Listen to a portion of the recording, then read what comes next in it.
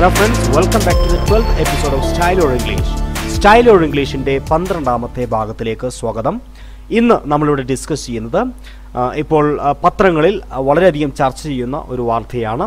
നമുക്കറിയാം കഴിഞ്ഞ ഏതാനും ദിവസങ്ങളിലായിട്ട് മാധ്യമങ്ങളിൽ ചർച്ച ചെയ്യുന്ന ഒരു വിഷയമാണ് കന്യാസ്ത്രീകളുടെ സമരം. ആ സമരവുമായി ബന്ധപ്പെട്ട് മലയാളത്തിന്റെ പ്രിയപ്പെട്ട സൂപ്രധാരം മോഹൻലാലിനോട് ഒരു പത്രലേഖകൻ അനവസരത്തിൽ ഒരു ചോദ്യം ചോദിക്കുകയുണ്ടായി. ആ ചോദ്യത്തിനോട് വളരെ ക്ഷുഭിതനായി മോഹൻലാൽ പ്രതികരിക്കുകയുണ്ടായി. ഇതിനെ തുടർന്ന് മോഹൻലാൽ പിന്നീട് പത്രലേഖകനോട് ഒരു ക്ഷമാപണം നടത്തുകയും ചെയ്തു. ഈ വാർത്തകൾ രണ്ടും പത്രങ്ങളിൽ പ്രസിദ്ധീകരിച്ചു വന്നിട്ടുള്ളതാണ്. ഈ വാർത്തകളിൽ നിന്ന് തിരഞ്ഞെടുത്ത വളരെ പ്രധാനപ്പെട്ട അഞ്ച് സെന്റൻസുകളെയാണ് ഞാൻ നിങ്ങളുടെ മുമ്പിൽ പ്രസന്റ് ചെയ്യുന്നത്. ഈ അഞ്ച് സെന്റൻസുകളുടെ ഘടനയും അതുപോലെ വൊക്കാബുലറിയും വളരെ വിലപ്പെട്ടതാണ്. അപ്പോൾ ഏതൊക്കെയാണ് ആ സെന്റൻസുകളെന്ന് നമുക്ക് നോക്കാം. അതിനു മുമ്പായിട്ട് വളരെ പ്രധാനപ്പെട്ട ഒരു കാര്യം മുൻപ് ഞാൻ പറഞ്ഞിട്ടുള്ള കാര്യം തന്നെയാണ്. അതായത് പലർക്കും ഈ വീഡിയോ സീരീസ് വളരെയധികം ഉപകാരപ്പെട്ടു വരുന്നു എന്നറിയുന്നതിൽ വളരെയധികം സന്തോഷം. നിങ്ങളുടെ ലാംഗ്വേജ് ഇമ്പ്രൂവ് ചെയ്യാൻ നിങ്ങൾ ചെയ്യേണ്ടത് ഒരു കട്ടിയുള്ള ഒരു ഡയറി എടുത്ത് ആ ഡയറിയുടെ പേജുകൾ രണ്ടായി മടക്കി. ലെഫ്റ്റ് സൈഡിൽ മലയാളം സെന്റൻസുകളും റൈറ്റ് സൈഡിൽ ഇംഗ്ലീഷ് സെന്റൻസുകളും എഴുതുക. അതായത് നമ്മൾ ഡിസ്കസ് ചെയ്തു വരുന്ന ഓരോ അധ്യായത്തിലുമുള്ള ഓരോ വാചകങ്ങളെയും ലെഫ്റ്റ് സൈഡിൽ മലയാളവും റൈറ്റ് സൈഡിൽ ഇംഗ്ലീഷും എഴുതി വയ്ക്കുക അതിനുശേഷം റൈറ്റ് സൈഡിലെ ഇംഗ്ലീഷ് സെന്റൻസുകൾ മറച്ചു പിടിച്ചുകൊണ്ട് ലെഫ്റ്റ് സൈഡിലെ മലയാളം സെന്റൻസുകൾ വായിക്കുകയും ഇംഗ്ലീഷിൽ പറയാൻ ശ്രമിക്കുകയും ചെയ്യുക. അങ്ങനെ ഈ ശ്രമം നിരന്തരമായി ചെയ്യുക. ഒരുപാട് ദിവസം ആവർത്തിച്ച് ചെയ്യുമ്പോൾ നമ്മളറിയാതെ ഈ പ്രയോഗങ്ങളും ഈ വൊക്കാബുലറിയും നമ്മുടെ ഭാഷയുടെ ഭാഗമാവുകയും ഒരു ചർച്ചയിൽ പങ്കെടുക്കുമ്പോൾ ഒരു സ്പീച്ച് നടത്തുമ്പോൾ ഒരു ലേഖനം എഴുതുമ്പോഴൊക്കെ വളരെ മികച്ച വൊക്കാബുലറിയോടുകൂടി വളരെ മികച്ച ഭാഷാ ശൈലിയിൽ നമുക്ക് സംസാരിക്കാൻ സാധിക്കും എന്നതിൽ യാതൊരു സംശയവുമില്ല. അപ്പോൾ നിങ്ങളുടെ ലാംഗ്വേജ് ഒരു അഡ്വാൻസ് ലെവലിലേക്ക് ഉയർത്തിയെടുക്കാനാണ് ഈ പാഠ്യപദ്ധതി നിങ്ങൾ ഉപയോഗപ്പെടുത്തേണ്ടത്. ഏറെക്കുറെ നൂറിലധികം അധ്യായങ്ങളിലൂടെ ആയിരത്തിലധികം സെന്റൻസുകളെ നിങ്ങളുടെ മുമ്പിൽ അവതരിപ്പിക്കണം എന്നാണ് ഞാൻ ആഗ്രഹിക്കുന്നത്. അതിന് നിങ്ങളുടെ വളരെ നിസ്സീമമായിട്ടുള്ള സഹകരണം ആവശ്യമാണ്. ഇനിയും ഈ ചാനൽ സബ്സ്ക്രൈബ് ചെയ്തിട്ടില്ലെങ്കിൽ സബ്സ്ക്രൈബ് ചെയ്യുക. അതുപോലെ ഈ വീഡിയോസ് പരമാവധി ഷെയർ ചെയ്ത് പ്രൊമോട്ട് ചെയ്യുക. ഓക്കെ ഇനി നമുക്ക് ഈ ഭാഗത്തിലേക്ക് കടക്കാം. ആദ്യമായിട്ട് ഡിസ്കസ് ചെയ്യുന്ന സെന്റൻസ് മോഹൻലാൽ പത്രലേഖകനോട് പരുഷമായി സംസാരിച്ചു. മോഹൻലാൽ പത്രലേഖകനോട് പരുഷമായി സംസാരിച്ചു. ഇന്ന് പത്രങ്ങളിലൊക്കെ അച്ചടിച്ച് വന്നിട്ടുള്ള ഒരു സെന്റൻസ് ആണ്. മോഹൻലാൽ പത്രലേഖകനോട്. അപ്പോൾ ഇവിടെ പത്രലേഖകൻ എന്ന് പറയുന്ന ഒരു വൊക്കാബുലറി ഉണ്ട്. പത്രലേഖകൻ എന്നതിന് തുല്യമായിട്ടുള്ള ഒരു വാക്ക് നമുക്ക് ആവശ്യമാണ്. പരുഷമായി സംസാരിക്കുക എന്ന ഒരു പ്രയോഗവും നമുക്ക് ആവശ്യമാണ്. മോഹൻലാൽ പത്രലേഖകനോട് പരുഷമായി സംസാരിച്ചു. Mohanlal snapped at the scribe. Okay അതിമനോഹരമായിട്ടാണ് ഈ പത്രം ഈ റിപ്പോർട്ട് ചെയ്തിരിക്കുന്നത് അല്ലെങ്കിൽ ഈ ഹെഡിങ് തലക്കെട്ട് നൽകിയിരിക്കുന്നത്. Mohanlal snapped at the scribe. Snapped. Snapped എന്ന് പറഞ്ഞു കഴിഞ്ഞാൽ പരുഷമായി സംസാരിക്കുക. സ്നാപ്പ് സ്നാപ്പ് എന്ന് പറഞ്ഞു കഴിഞ്ഞാൽ പരുഷമായി സംസാരിക്കുക എന്നാണ് സ്നാപ്പ് പരുഷമായി സംസാരിക്കുക. വളരെ പരുഷമായി സംസാരിക്കുന്നത്. നമുക്ക് സ്നാപ്പ് എന്ന് പറയാം. അതുപോലെ പത്രലേഖകൻ എന്നതിന് ഏറ്റവും ലളിതമായി സ്ക്രൈബ് എന്ന് പറയാം. സ്ക്രൈബ് നമ്മൾ റിപ്പോർട്ടർ എന്ന് പറയാറുണ്ട് ന്യൂസ് റിപ്പോർട്ടർ എന്ന് പറയാറുണ്ട്. അപ്പോൾ ന്യൂസ് റിപ്പോർട്ടർ എന്നതിന് ഏറ്റവും മനോഹരമായിട്ടുള്ളൊരു പ്രയോഗമാണ് scribe Mohanlal snapped at the scribe Mohanlal പത്രലേഖകനോട് പരുഷമായി സംസാരിച്ചു. Mohanlal snapped at the scribe okay അപ്പോൾ വളരെ മനോഹരമായിട്ടുള്ള രണ്ട് വൊക്കാബുലറിയിൽ ഈ സെന്റൻസിലൂടെ നമുക്ക് ലഭ്യമായിരിക്കുന്നു. അടുത്ത സെന്റൻസ് നോക്കാം.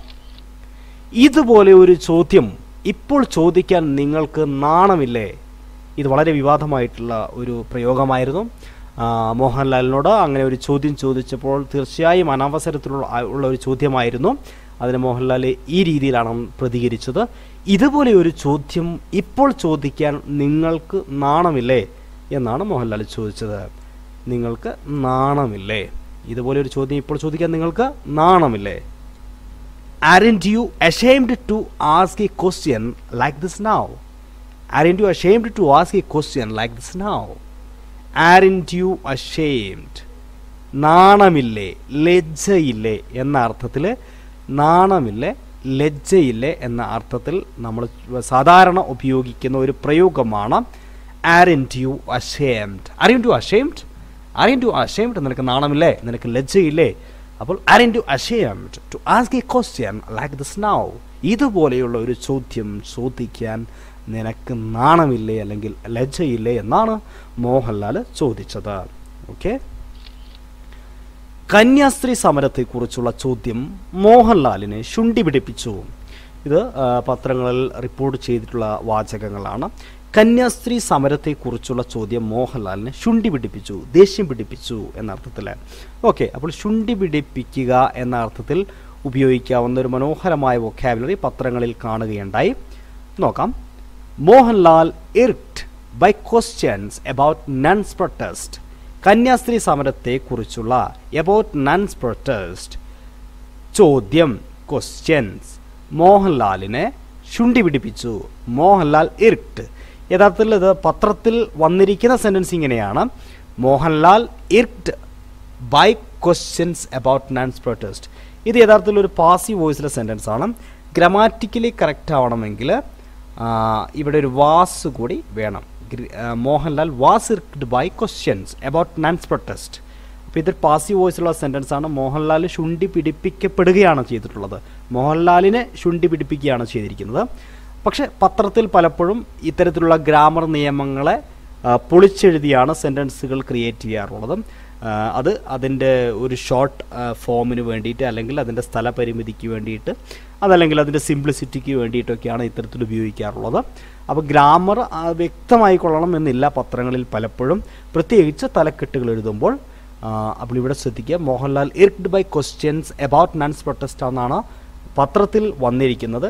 അത് യഥാർത്ഥത്തിൽ ഇങ്ങനെയാണ്. Mohanlal was irked by questions about nuns protest എന്നാണ്. ഓക്കെ അപ്പോൾ ഇവിടെ നമുക്ക് ലഭ്യമായിരിക്കുന്ന വൊക്കാബുലറി ഇർക്ക് എന്ന് പറയുന്ന വൊക്കാബുലറിയാണ് ഇർക്ക് ഇർക്ക് എന്ന് പറഞ്ഞാൽ ശുണ്ടി പിടിപ്പിക്കുക ദേഷ്യം പിടിപ്പിക്കുക വെറി പിടിപ്പിക്കുക എന്നൊക്കെ പറയാം.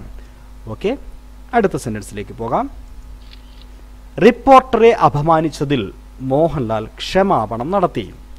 നേരത്തെ നമ്മൾ റിപ്പോർട്ടർക്ക് ഒരു പുതിയ വാക്ക് പഠിച്ചിരുന്നു. സ്ക്രൈബ് എന്ന് പറയുന്നത് ഇവിടെ ഏതാണ് ഉപയോഗിച്ചിരിക്കുന്നത് നോക്കാം. Mohanlal apologises for snapping reporter ഇവിടെ റിപ്പോർട്ടർ എന്ന് തന്നെയാണ് ഉപയോഗിച്ചിരിക്കുന്നത്. ഓക്കെ റിപ്പോർട്ടർ പക്ഷേ ഇവിടെ മറ്റ് രണ്ട് പ്രധാനപ്പെട്ട വൊക്കാബുലറികൾ ശ്രദ്ധിക്കുക. ഒന്ന് അപമാനിച്ചതിൽ റിപ്പോർട്ടറെ അപമാനിച്ചതിൽ. അപ്പോൾ അപമാനിക്കുക എന്ന അർത്ഥത്തിലുള്ള പ്രയോഗം സ്നബ് എന്ന് പറയുന്ന വാക്കാണ് ഇവിടെ ഉപയോഗിച്ചിരിക്കുന്നത്. സ്നബ് സ്നബ് എന്നാൽ അപമാനിക്കുക എന്നാണ്. Stamp snub okay Mohanlal apologises for snubbing reporter റിപ്പോർട്ടറെ snub ചെയ്തതിൽ റിപ്പോർട്ടറെ അപമാനിച്ചതിൽ.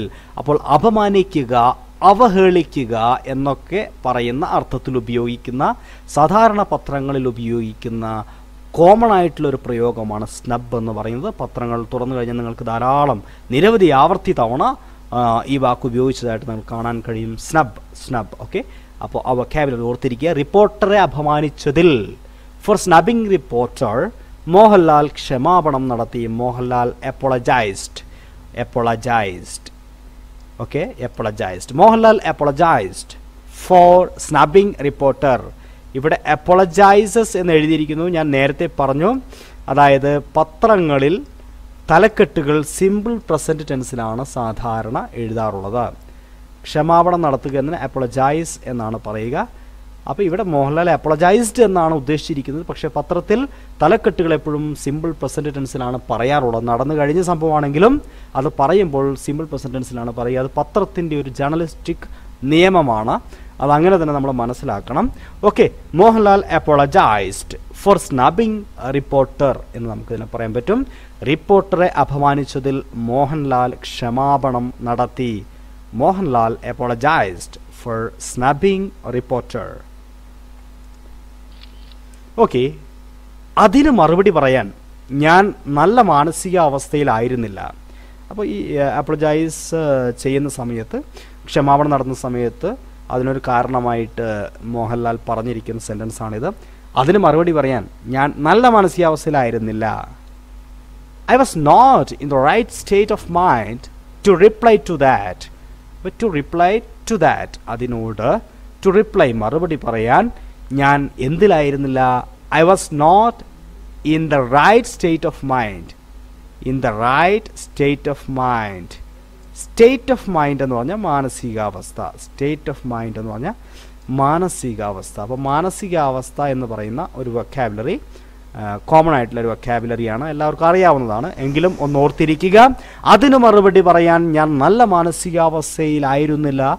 I was not in the right state of mind to reply to that okay ഇപ്പോൾ വളരെ പ്രധാനപ്പെട്ട ഏതാനും ചില വൊക്കാബുലറികൾ നമ്മൾ പഠിക്കുകയുണ്ടായി. പരുഷമായി സംസാരിക്കുക. പത്രലേഖകൻ നാണമില്ലേ അല്ലെങ്കിൽ ലജ്ജയില്ലേ എന്ന അർത്ഥത്തിലുള്ള വൊക്കാബുലറി ശുണ്ടി പിടിപ്പിക്കുക ദേഷ്യം പിടിപ്പിക്കുക വെറി പിടിപ്പിക്കുക എന്ന അർത്ഥത്തിൽ ഉപയോഗിക്കുന്ന വാക്ക്. ക്ഷമാപണം നടത്തുക എന്നതിനുള്ള വളരെ ലളിതമായിട്ടുള്ള വാക്ക്. അപമാനിക്കുക എന്നതിന് സാധാരണ പത്രങ്ങൾ ഉപയോഗിക്കുന്ന ഒരു ജേർണലിസ്റ്റിക് വൊക്കാബുലറി മാനസികാവസ്ഥ എന്നതിന്റെ ഒരു ലളിതമായിട്ടുള്ള വാക്ക്. ഓക്കെ.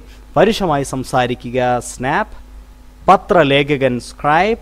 നാണമില്ലേ ഐഡന്റി യു എഷാംഡ് ശുണ്ടി പിടിപ്പിക്കുക ഏർക്ക് ക്ഷമാപണം നടത്തുക അപ്പളജൈസ് അപമാനിക്കുക സ്നാപ്പ് മാനസികാവസ്ഥ സ്റ്റേറ്റ് ഓഫ് മൈൻഡ് ഓക്കെ അപ്പോൾ സ്റ്റൈൽ ഓഫ് ഇംഗ്ലീഷിന്റെ പന്ത്രണ്ടാമത്തെ ഭാഗത്തിൽ നിന്ന് ഇത്രയും വൊക്കാബുലറികളാണ് നമുക്ക് ലഭ്യമായിരിക്കുന്നത്. അപ്പോൾ ഈ വീഡിയോ നിങ്ങൾക്ക് ഉപകാരപ്പെട്ടു എന്ന് വിശ്വസിക്കുന്നു. നിങ്ങളുടെ അഭിപ്രായങ്ങൾ ദയവായി കമന്റ് ബോക്സിൽ രേഖപ്പെടുത്തുക. അപ്പോൾ thank you for watching this video see you bye bye